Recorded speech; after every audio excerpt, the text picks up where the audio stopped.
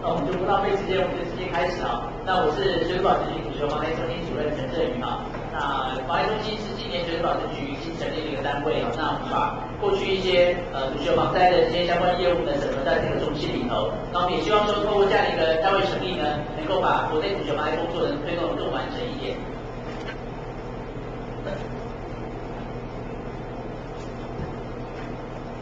是我应该是安排的。说旁边这个，OK，好，谢谢。好，那我今天简报部分呢，大概分成呃几块。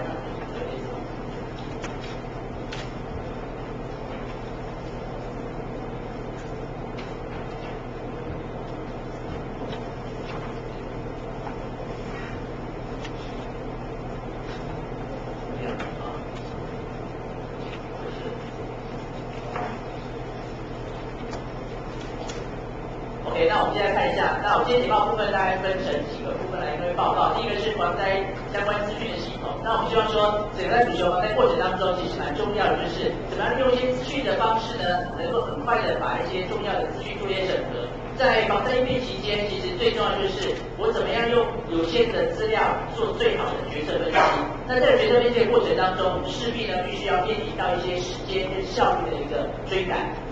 那如何利用科技的方法，把这些东西很快的去做一些处理，是我们要继续来探讨的课题。第二个部分呢，我们再回顾一下，从这个过去几年当中，整个资讯的技术的趋势，从微二点零被喊出来之后，到底实物上面有没有什么可以应用的地方？我们也做一些简单的回顾。那接下来我们怎么样利用这些新的技术呢，来应用在我们防灾科技上面做一些整合？最后看一下我们打算怎么做，也也就教于各位呃先进做指导。那我看一下防灾资讯监控系统呢，大概分成这四项，也就是整个我们目前水保局针对防灾的部分啊，把灾害的分成四阶段来看，包括平时减灾、灾前准备、灾中应变跟灾后复原这四个阶段，都有相关对应到的这个系统。那在座的很多县市政府或者是乡镇公所或其他单位的好朋友，大概都有用过这些系统，我就不再多做赘述。那么我针对整合的部分呢，做一些说明。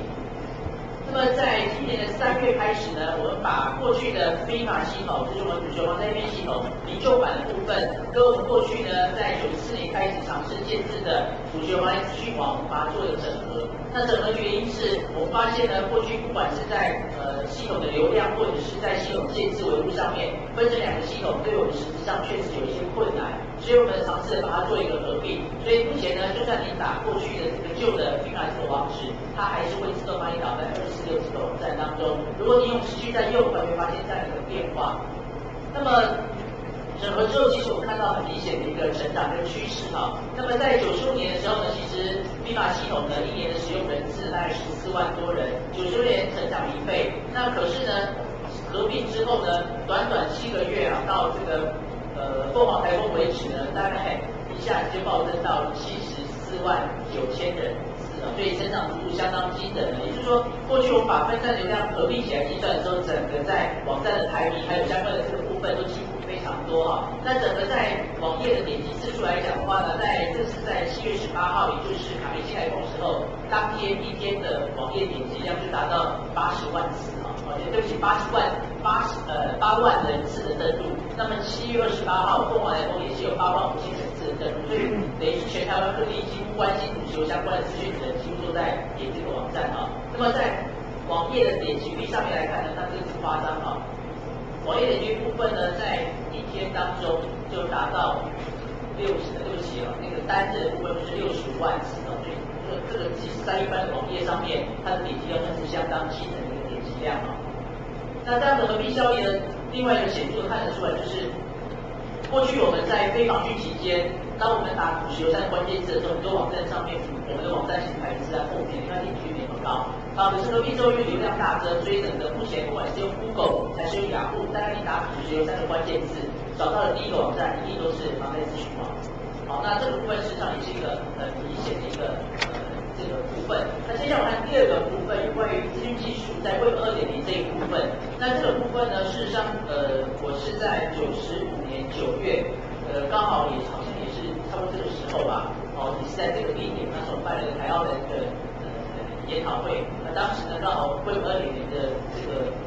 口号被喊出来，那我们尝试的把握二零是什么，尝试的做一些定义跟整理。那当时我做了一些整理，包括的第一个，整个系统是朝视觉化的一个发展；第二个，呃，很多在资讯管理上用利用标签的方式来做一个管理，就希望说你不要再去分很多层的怎么去分了，你直接给他下关键字，那到时候网页可以自己搜寻得到。那第三个呢，善用社群的力量，不是说靠个人，尽量能够靠网友的力量来把整个知识能建起来。第四个，混搭的效应。第五个叫 Active 的技术，用 RSS 各个中讯息的这个更新。那这会是我有重点大概整理的部分。那我们看一下大概相关的一个意义哦。那当然有一些做逐步的修改，经过这两年的一些变化。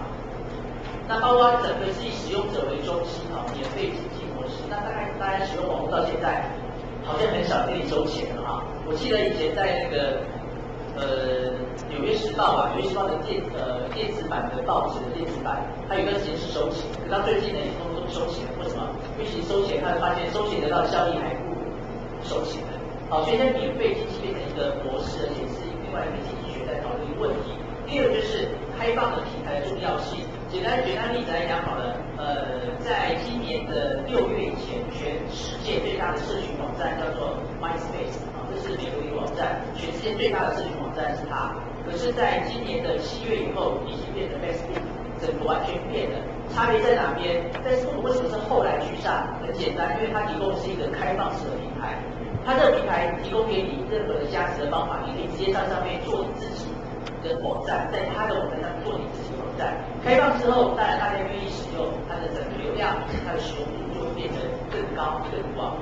那第三个呢部分就是由下载到上传。早期我看网络这世界，大概大概自己看的人比较多，可是现在发现，哎，好像越来越多人喜欢写博客，越来越多人喜欢把自己的观点分享上去。其实，当你愿意把自己的观点跟知识分享出去的时候，那这样汇集的力量就非常非常可怕。好，待会会举几个例子。那再过来是由下而上，可以自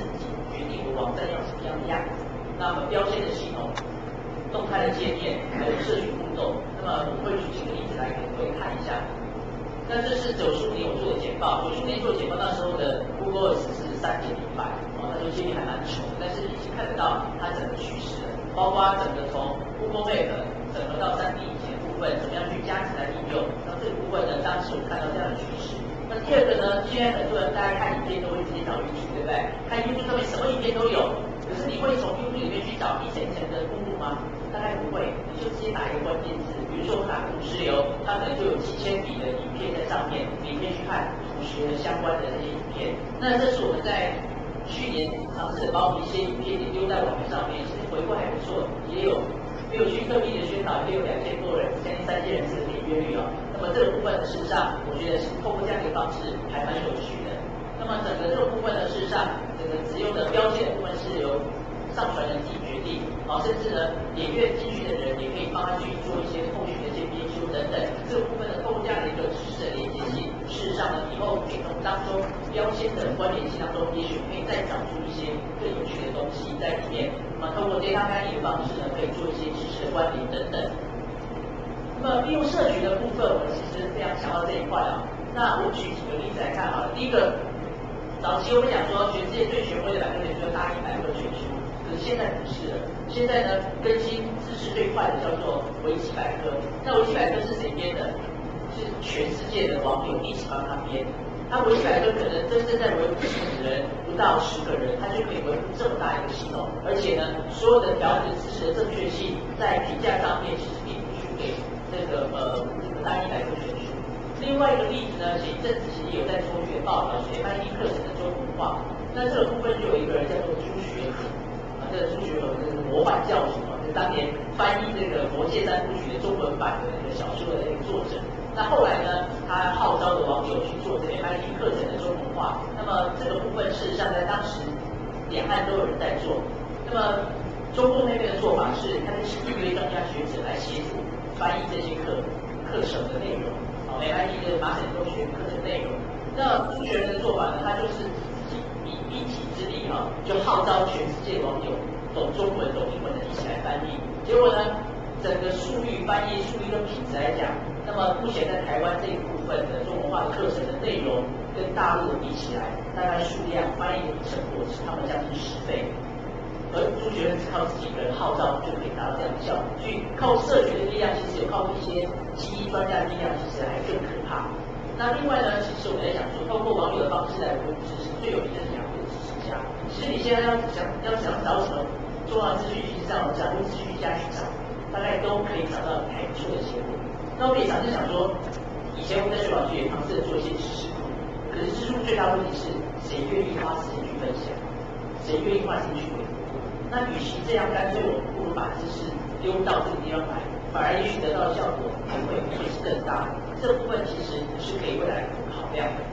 那混搭的部分，事实上就是借助外力的部分。举个最有名的例子，在今年的呃全球的 Demo 秀这个网络选秀大赛，在全台呃全呃台湾派对代表这个地图日记最近也蛮好的哦。那么地图日记呢就得到他的首奖，就是这个这个奖项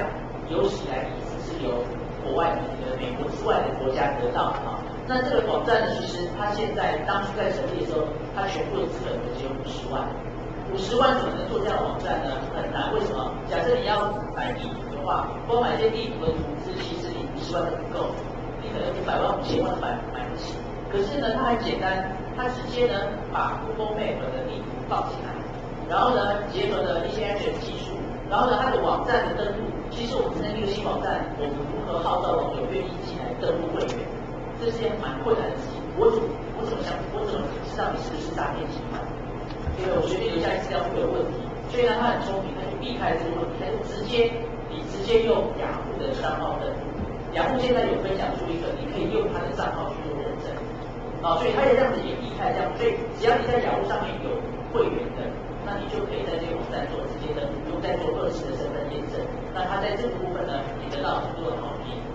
那另外像微信、部落格结合 GPS 做完照片管理，还有标签这些等等，都是会而点一些情况。那么透过这样的方式呢，它可以用很少很少的钱、很少很少的人力，可以达到一个很大的效果。好，那这个部分呢，叫做混搭，这个部分就是借助外力呢，站在巨人的肩膀上，可以做更多更多的事情。那另外有一些网址，各位可以参考上去，还蛮有趣的。有些卖房子的都是通过这种方式来做处理。好，那 Ajax 的动态网页技术呢，最有名的就是像早期我们在呃 Office 软体上都是用单机来作业，现在呢都可以再用网页的方式来编辑 Office。那这是全世界第一套研发出来，那时候叫两呃九十五年的时候研发出的，就是 Writer 这个这个网站。那这个网站它当时技术提出来之后呢，马上就有公司把它买下来。Google，如果太有钱，但这个其实它做不出来，这个这个太厉害了，跟 Google 是一样，Google 它自己来不及做，干脆就把它买下来。所以各位目前在 Google 上面有一个 Google 的文件部分，它目前就是包括 Word、Excel 跟 PowerPoint 部分，都可以直接透过 Google 的网站当中做文字的编辑编修，效果跟你用单机版的 Office 软体几乎是一模一样。换句话说，以后你只要连上网络，你在单机上面不用装任何的套装软体，你只要一个。Browser 浏览器就可以了。那这个部分事实上我们现在运用的非常广，啊，对，像在这个呃歧视这个部分。好，那接下来我们就看一下，我们刚刚讲这些技术，我们目前学宝是怎么来用这些技术。第一个，我们说传统的主流的显示器有查询模式呢，哎，大概我们就是一枚这样点进来，哦，先查县市、乡镇、村里，哦，跟都这样显示器流嘛，这样描绘出来。可是这样的对一般的使用者来讲，其实没有那么直觉。那如果我们倒过来看呢？我们直接把后面的把它镶进去。那目前这种是做做，你把它直接镶进去，那么直接透过 Google Map 的方式，很直觉的。然后最重要是它的影像全部都是 Google 那边直接提供，不用再做任何的费用支出。那这样子提供呢，包括整个卫星影像，包括道路组成等等，都全部由 Google 那边提供。那我们只要把我们的显示器有的位置把它叠上去。那么很清楚的，每一个地方有保全对象，每个地方需要做一些特别处理的地方，都会通过这个机器呢，很快的得到相关的处理。那么我们常常讲说，利用伟大的技术，我们可以跟国际同步，而且呢，未来我们可以甚至可以支援灾区的照片上传分享机制。多瑞的上面可以分享照片啊，也许某某假设某地方没计划在在一起，热心的网友在上面丢上去之后，我们可以直接从网页上得知当地现场的一些状况。好，这是后续我们可以再逐步来建立的。那当然，另外就像主持人的直接发布方式，早期我们直接发布方式就是类似像这样子，然后我们在什么县市什么乡镇已经发布了红色警戒，那么在点进去之后呢，可以看到每一条线是有的编号等等。可是那种是不太那么直觉。那我现在跟 Google Map 结合之后呢，只要哪个地方发布石油警戒的话，红色警戒在那个地方就会亮黄色警戒就亮黄点，那你就可以直接一层层的把它 V 或冒出来，看得到每个地方是发红色或黄色警戒。那这样子呢，包包括民众或者是地方的网站单位在使用上面呢，就会更直觉更好用。那另外呢，整合型的这种个人化的网页，那目前或者提供的 iGoogle 的服务，那 iGoogle 服务呢，我们也发研发了一些套件，可以直接叠合到你 iGoogle 里面，包括图形的显示器和查询，还有容量这些资料等等，都可以直接透过 iGoogle 这个界面呢，把它整合起来。换句话说，如果你是一个房贷单位的人员呢，也许在你应对中心电脑当中，你直接开启 iGoogle 设一个账号之后，就可以把所有学保局所提供的同学房贷的资讯。直接整合到这个网页当中，也就是你可以设计你自己的防灾应变的网页。那另外我们提出另外一个想法，就是那现在视觉化既然是一个共同的趋势，怎么样透过视觉化的管理，那方便我们去做一些历史资料的保存？我举个例子来讲好了，到上礼拜我同事来问我说，哎，主任啊，那个我想要找贺龙台风那时候的修照片，去哪边找？我想想，我还真的不知道去哪边找。为什么？因为后台报的时候我还没有直觉报去，但这样我不知道在哪边找。有知道有在某本报告书里面有，或是某一个书册里面有，那还去去扫描吗？还在去找那些照片出来吗？那这个部分如果当初有透过一个机制很有效的管理的话，那这部分就会变得很有用、很好用。那我举个例子来讲好了，这是我目前已经开发好的系统。那么在这个小照片的图示哈，那你把它点进去。之后看到目前我们曾经在那边拍过的照片，哦，每张照片都有坐标，点进去之后呢，这个照片呢，也就会秀出来长这个样子。那当然，如果你今天要新增一张照片的时候，假设我今天去现场去看它的时候，一样可以通过类似的方法。首先呢，我们要新增一个地点，就是说拍摄地点在哪边。要拍摄点先点出来，按滑鼠所键之后呢，那么选择拍摄点，它就点出来了。接下来呢，我再选我的目标，就是我往哪个方向，是往上走还是往下走开？好，就是它目标点。当你的目标点呢，跟拍摄点都出来之后，坐标会自动在上面点。所以其实你有时候干脆在现场也不用再去点坐标，你只要确定那个点的地方是在什么地方，通过认证一下其实看得很清楚，那你马上就可以直接不用再输入坐标点的方式，用。用拉拉多拉的方式可以把坐标输入进去。那确定之后呢，这个照片上传就存到我们资料库。那以后呢，未来。比如说我要去这条土修显示流去看灾的时候，我可能想要知道这条显示流过去长什么样子，那我就直接用拖印的方式把这个范围画出来，然后呢点进去之后，就可以把这个范围内所有土石流过去在那地方拍过照片全部秀出来，然后可以选定一整 A3 或 A4。几张照片啊，一起带出去。那我到现场的时候，马上一看，哎，这个点在什么地方？那我这次拍照呢，尽量在同一个点。这样子呢，累积几年之后，所有这条溪流变化信息跟显示的变化信息就会一清二楚。那么我很强调的是，上传照片呢，直接不见得一定要带 GPS，直接用直接用这这一项，用视觉化的方式就可以输入坐标。那先开前我们可以快速的绘出这些列历史照片来协助做一些参考。好，那些用整合的这些地图，还有一些照片管理功能，那未来也许报告书部分也可以用同样的资料库汇集的方式起来。那通过视觉化的方式，其实就会变得很简单，那使用者界面也会比较轻松一些。那再过来就是 Ajax 技术应用动态网页的部分，我们目前在用的比较广，就是我们自己在我们的防灾应变系统当中有一个即时通。其实有时候在防灾应变的时候呢，有时候联络很多人要打电话发简讯。有时还没有方便。那现在年轻人在已经习惯用 MSN 资料的方式来处理。那我们在我们系统中就已经内建一个类似像 MSN 的功能，所以我们在应变期间就可以透过这样的资料的模式，直接呢把一些重要的讯息通知到每一个上线的人。好，所以这样的其实还蛮有效率的。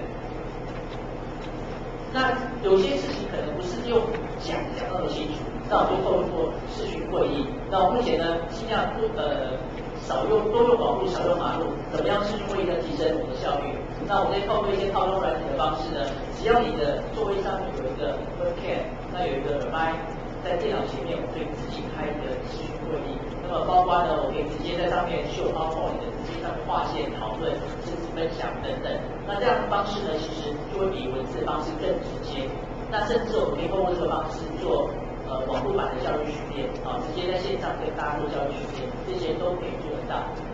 那当然，我们也持续的在建设我们的训练防灾训教育训练中心，像今天课程，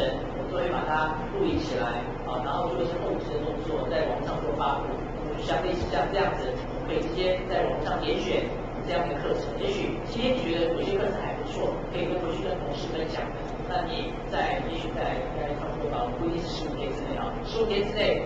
的厂商就会把这个后置的部分做好，放在网上面，一样在我们二十六的网站上面就可以看到相关的课程内容。也许可以推荐你的同仁一些相关比较多的特别重要的资讯。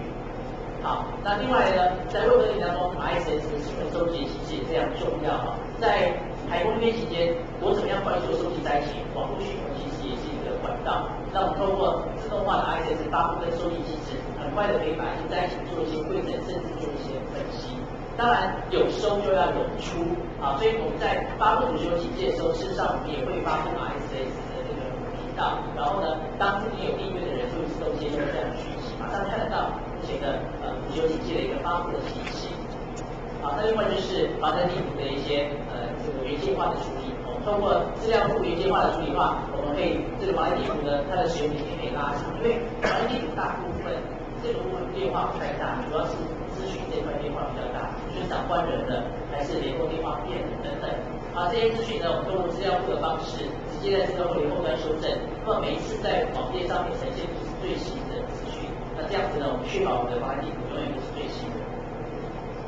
好，那这个部分呢，今天在外面有一个展示的平台，我们用 Google Earth 来做一些蛮重要的东西。那这个部分我们非常强烈推荐，到后会可以再会做一些详细的介绍。包括目前像我们在行查报，只要的分局同仁有坐标点给我们，我们直接转换成 Google 的经纬度坐标，用 Google 飞到现地去看一下，看看那个灾地点是不是真的有可能发生这样的灾害，其实可以做一些初步的判断。甚至呢，因为 Google 目前在山区的解析。在市区景没问题，市区景大概呃一个匕首大概五十公分左右的景度，大概斑马线都看得很清楚。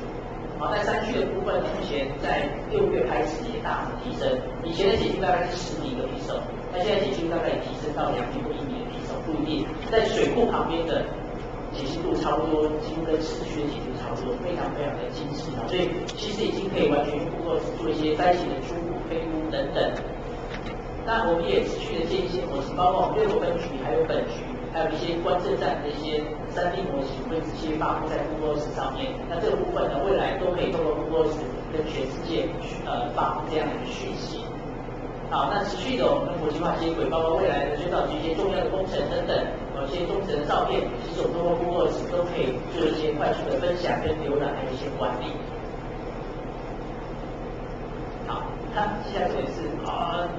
如果你想说过的好处，那我怎么样用？啊，用的方法很简单，你只要到我们的二十六这个网站，你就爱资讯网，如果记不起来没关系，你就直接打“学三”个关键字，找到第一个网站就是。那在这个地方呢，会有一个小地球啊，如果小地球图示，那你首先你必须要先，假设你没有用过的话，你要先安装啊，不过直接下载去我们连接点，你可以去安装。不过安装完之后呢，接下来你去点阅这个呃小地球的话，我会。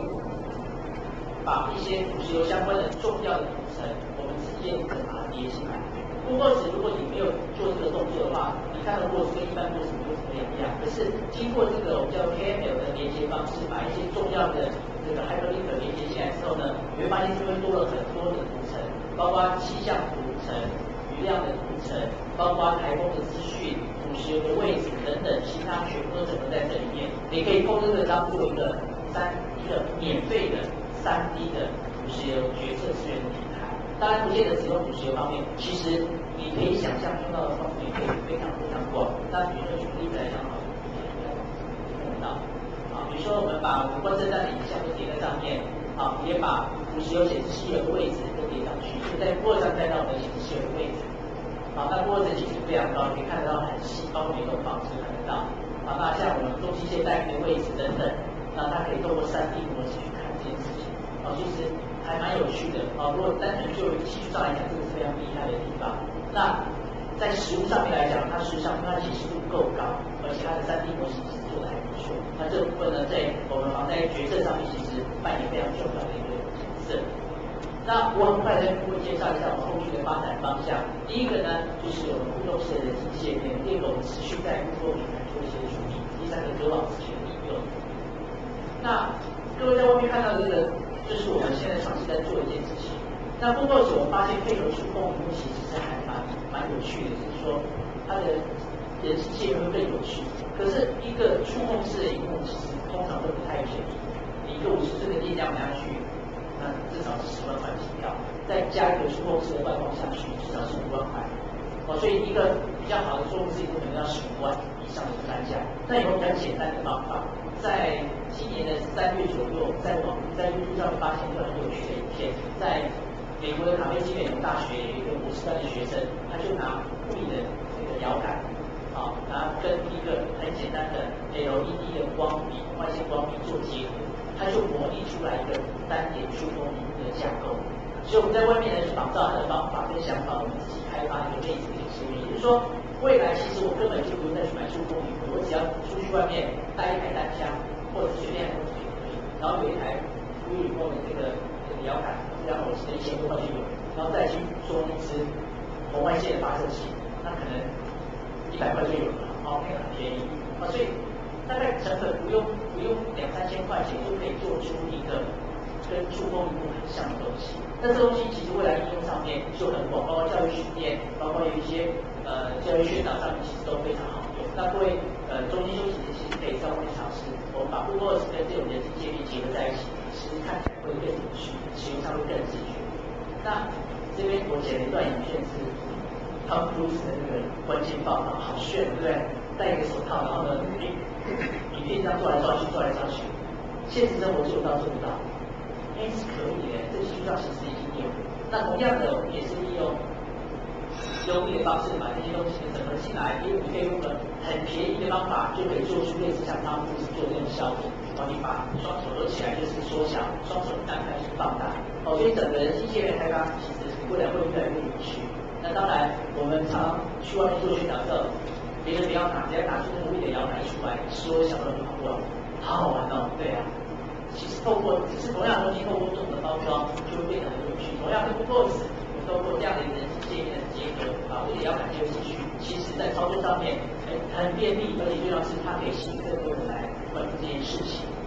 那这个 Google 平台的后续持续包括工程规划、防灾决策资源、疏散平台规划、演练、教育宣导，都可以在这个平台上做一些发展。那我们现在也持续在在 Google 上做开发游戏，我们还在持续做当中。也许下一次我们在见面的时候，各位可以看得到做出来的一个成果哈。那我们也可以通过 K 的一些图啊，这些目前都有一些相关的套装的解决方案，把 K 的图会直接转成 3D 模型放在 Google 上面。我们对这些初步的规划设计其实都非常好用啊。那我们在跟民众这些相双呃双向的沟通的时候，其实都会很有说服力，成果马上看到在 Google 上面。看到类似像这样的模型马上就建出来，啊，你不用再花很多的钱去做那些东西，这些都有一些套装的方案可以处理。好，那后续我们通过一些相关的资料的整合、隔网机制准备研判，网贷资讯的一些研发。那另外就是整个我们希望说中国网经济能够更快的把一些决策组织做到更好。那以上是我们的报告。好，那我们下一个。